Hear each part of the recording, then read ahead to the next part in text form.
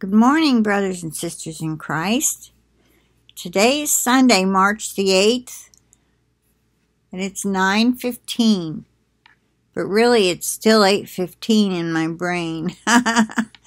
Don't you hate the springtime change? you lose an hour. Anyway, let's get started. I woke up in the middle of the night talking out loud giving somebody instructions on something. And I kept on talking, and it didn't stop while I was awake. So I knew it was from the Lord. And I'm going to read it to you, and you'll see why. All right. Um, the, the very beginning sentence, I think, is must have been what I was dreaming about or talking to somebody about. All right, say you are told. Th- these are instructions for us, believe it or not. I mean, it it's it's plain to me. It's got to be. All right. Say you are told to take a stack of papers and tear them in half and throw them away. You may think, what's the point? I need to shred these, or someone could tape them back together and read them. In reality, you are right, but he didn't say to do that. He said, tear them in half. We want to do, now by, by now I'm fully wide awake, okay, uh, through all but the first sentence, and that's what I remember dreaming, alright? My hair is getting longer, as you know, and now it's starting to get in my eyes. so I gotta get these little short pieces longer. Okay, here we go. So he said, tear them in half. We want to do things our way, make it harder on ourselves. But we need to do what we are told. Do what he says. And I put that in all caps, H E. Do what he says. Keep it simple. His yoke is easy. His yoke or his way is light. We are the ones who think we have to do more than that. We make things hard for ourselves. Now, you know this is in reference to the scripture, Come unto me, all you who are weary and heavy laden, and I will give you rest. Take my yoke and learn of me, for I am meek and humble at heart, and you will find rest for your souls. I believe that's how it goes. For my yoke is easy and my burden is light. Let's see where that is. Let me pull it up. Ah. Getting the sniffles.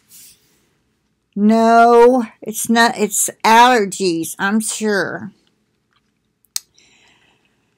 Uh, let's see, my yoke is easy. We'll put that in. My yoke is, there we go. Matthew 11, 28 through 30. Take my yoke upon you and learn from me, for I am gentle and humble in heart, and you will find rest for your souls. For my yoke is easy and my burden is light. So you'll find that in Matthew chapter 11. Okay. Um, I think the reason um, I probably got this was because I've been trying to instruct somebody on how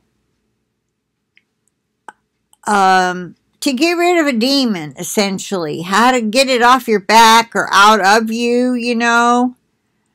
And when they're just hanging around you, it's basically a matter of rebuking it. Let's see, James says, let's see, and it will flee from you. Let me see this. And it will flee from, he will flee from you. Okay, this should be it. Yeah, James 4 7. Submit yourselves then to God, resist the devil, and he will flee from you. This is the King James Bible. Or, okay, hold on a minute. This is weird. James 4 7. Let's do the Berean. But he gives us, this starts with verse 6, James 4 6. But he gives us more grace.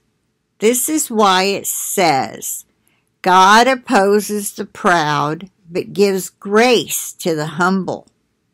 Submit yourselves then to God.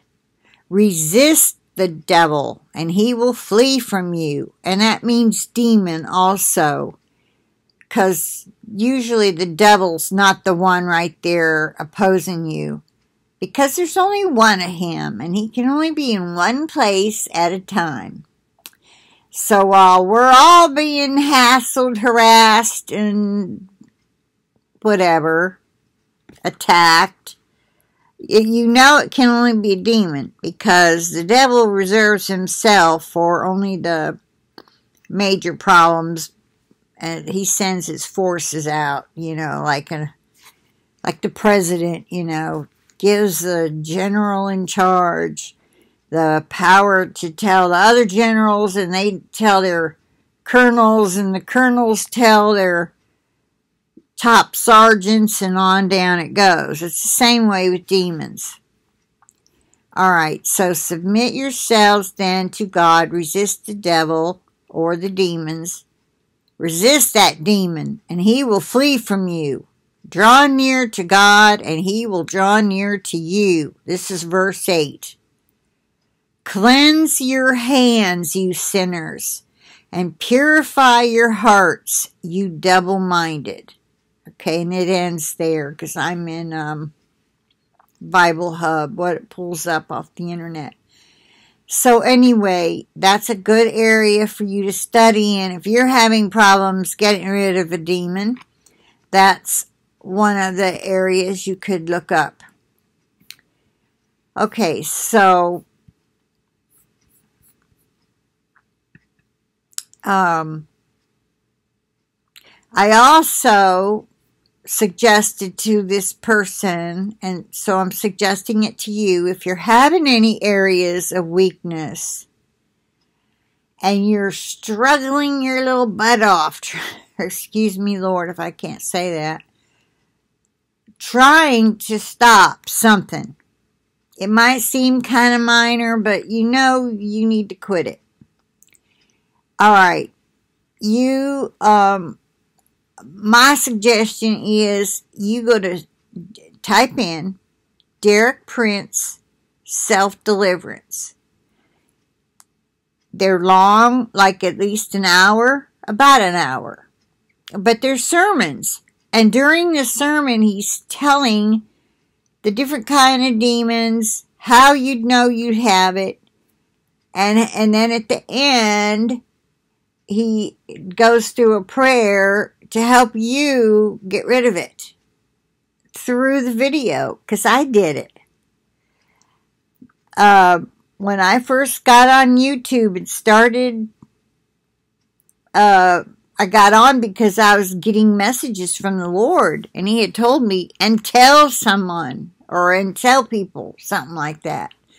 So I thought, well, I'm not sure how to do that, but I was watching YouTube and I thought, well, I guess I'll start a YouTube channel. I mean, I had signed up, I was able to comment, so you have a channel.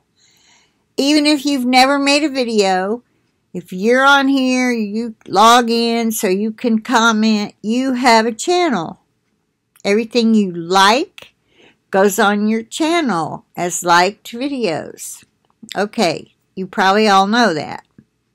So anyway, I started making videos. And, um, oh gosh, I lost my train of thought. Why did I go back there? I started making videos.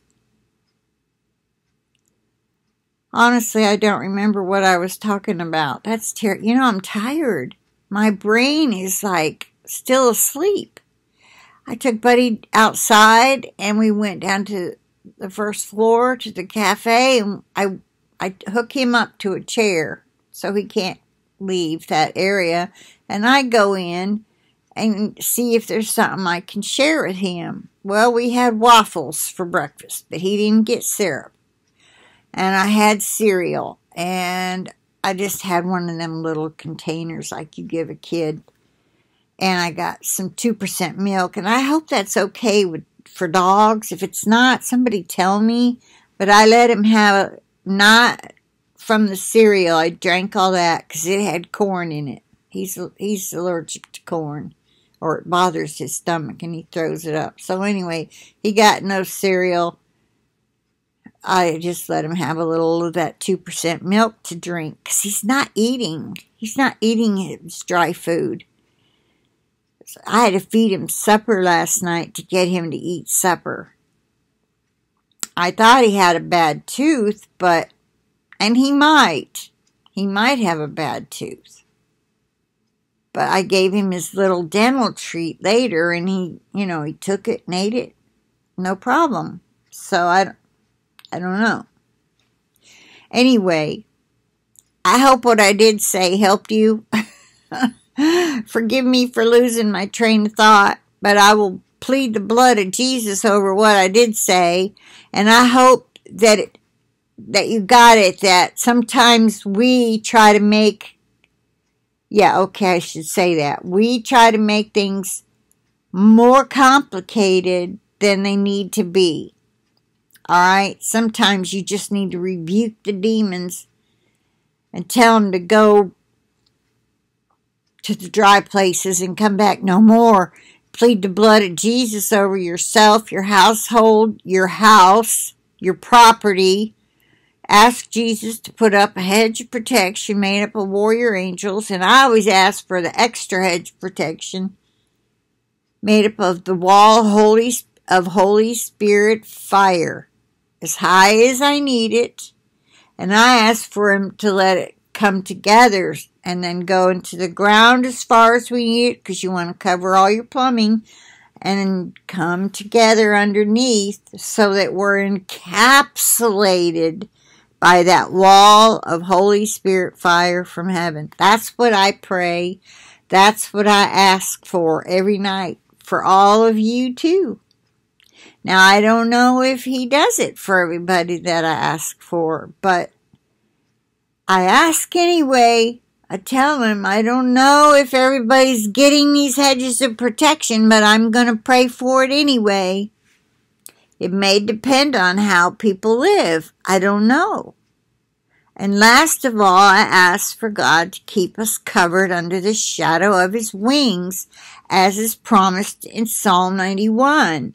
I pray that for you, for all the saints, and all my family. But if you're not living, if the, all the people I pray for are not dwelling in the secret place of the Most High, I don't think they will be covered under the shadow of His wings. But I don't know. I just pray it for them anyway. All right. With that, I'll end it. If you have any questions, please put them in the comment section. So I'll plead the blood of Jesus over this video, the internet connection, over myself and my computer, over each and every single one of you, and all your devices, your internet connections, so we can stay connected until we're out of here. Maybe we'll be soon. I pray, I pray, I pray it is. Okay, with that, I'll say bye for now. I'll talk to you later.